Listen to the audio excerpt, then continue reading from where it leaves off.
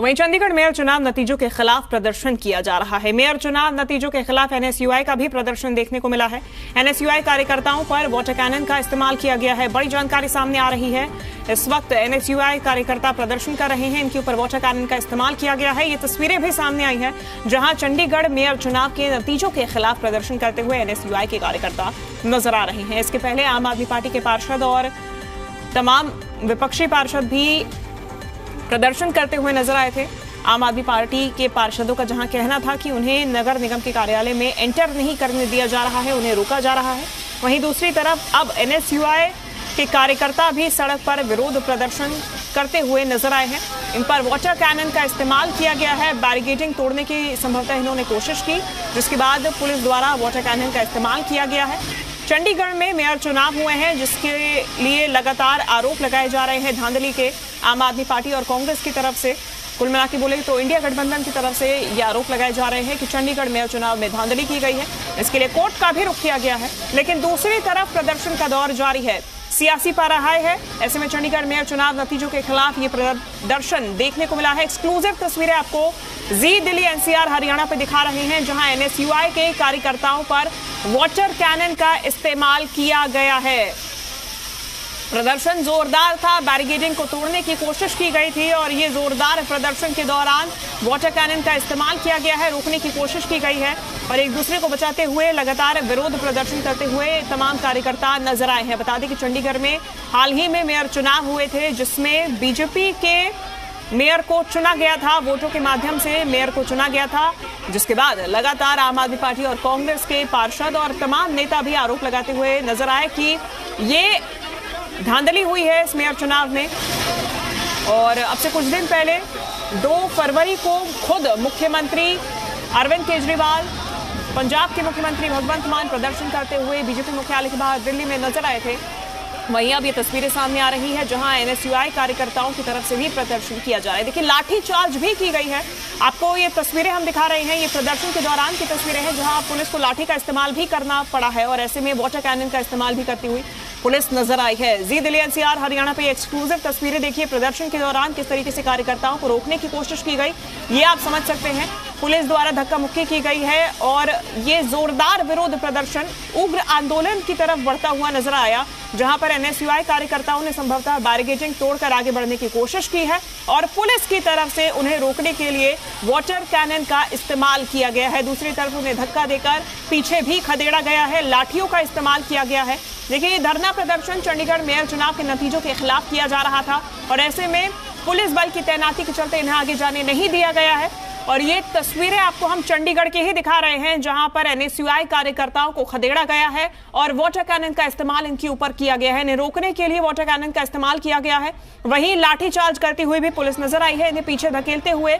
और जब अनियंत्रित होते हुए ये तमाम प्रदर्शनकारी कार्यकर्ता नज़र आए तो फिर पुलिस ने वाटर कैनन का इस्तेमाल किया है। ये सीधी तस्वीरें आपको चंडीगढ़ से दिखा रहे हैं। जी दिल्ली एनसीआर हरियाणा पे। एक्सक्लूसिव तस्वीरें दिखा रहे हैं, माफ़ कीजिएगा। और ये फ़िलहाल विरोध प्रदर्शन की वो तस्वीरें हैं, जहाँ पर एनएसयूआई कार्यकर्ताओं के ऊपर पुलिस ने बल का प्रयोग किया है और बैरिगेडिंग तोड़ने की कोशिश की गई थी, जिसके बाद में पुलिस ने बल का प्रयोग करते हुए सबसे पहले इन्हें खदेड़ा है, लाठी का इस्तेमाल किया गया है, जिसके बाद संभवतः इन्हें रोकना मुश्किल हो रहा था। वाटर कैनन का इस्तेमाल भी फिर पुलिस की तरफ़ से किया गया है। भारी संख्या में एनएसयूआई के कार्यकर्ता प्रदर्शन स्थल पर मौजूद ज़्यादा जानकारी लेंगे जी मीडिया संवाददाता विजय राणा हमारे साथ जुड़ गए हैं। विजय, क्या अपडेट है फ़िलहाल?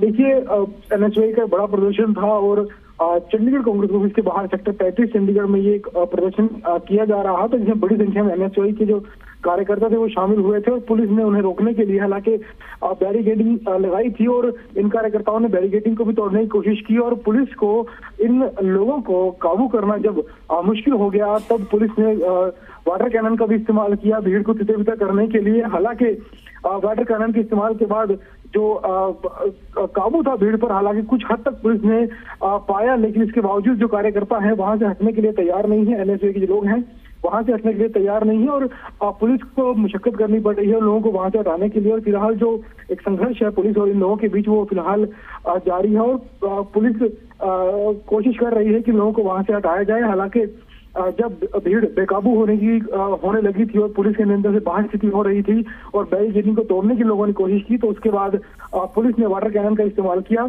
इससे कुछ हद तक तो ये जो लोग थे, ये थोड़ा पीछे ज़रूर हटे हैं, लेकिन अभी भी मौके पर मौजूद हैं और वहाँ से जाने के लिए तैयार नहीं है, वहाँ से हटने के लिए तैयार नहीं है और पुलिस उन्हें हटाने की वहाँ से अभी भी कोशिश कोशिश कर रही है। विजय कौन से क्षेत्र की तस्वीरें हैं? कहाँ पे प्रदर्शन किया जा रहा है? क्या पुलिस ने किसी को हिरासत में भी लिया है? देखिए, ये तस्वीरें हैं, ये चंडीगढ़ सेक्टर पैंतीस की है, जहाँ पर चंडीगढ़ कांग्रेस का ऑफ़िस है और चंडीगढ़ कांग्रेस के ऑफ़िस के बाहर ही ये प्रदर्शन किया जा रहा है।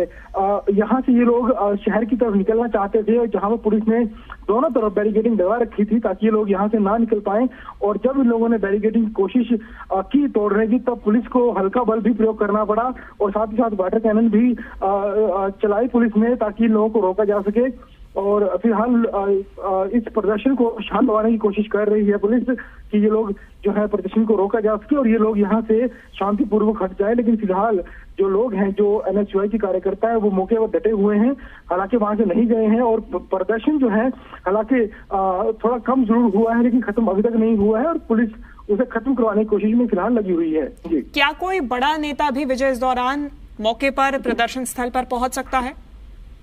देखिए जो एन एच चंडीगढ़ इकाई के जो लोग हैं, जो सीनियर है, वो तो यहाँ पर पहुँचे हैं। इसके अलावा महिला कांग्रेस की बात कर रहे हैं या जो रेल मंत्री हैं, पवन बंसल या जो कांग्रेस के, चंडीगढ़ कांग्रेस के अध्यक्ष हैं, वो भी यहाँ पर आ सकते हैं। और फ़िलहाल बड़े नेता भी यहाँ पर पहुँच सकते हैं अगर प्रदर्शन ज़्यादा उग्र होता है तो।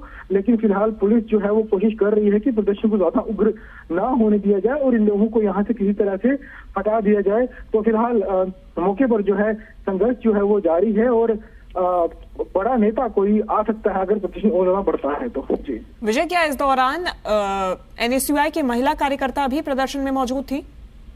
देखिए एनएसयू के सभी लोग यहाँ पर मौजूद थे। महिला हों चाहे वो पुरुष हों और चाहे वो सीनियर नेता हो एनएसयूआई के, यहाँ यहाँ के चंडीगढ़ के प्रधान हो, या उपाध्यक्ष हो, जो भी एन के नेता। ठीक है, विजय, धन्यवाद आपका तमाम जानकारी के लिए।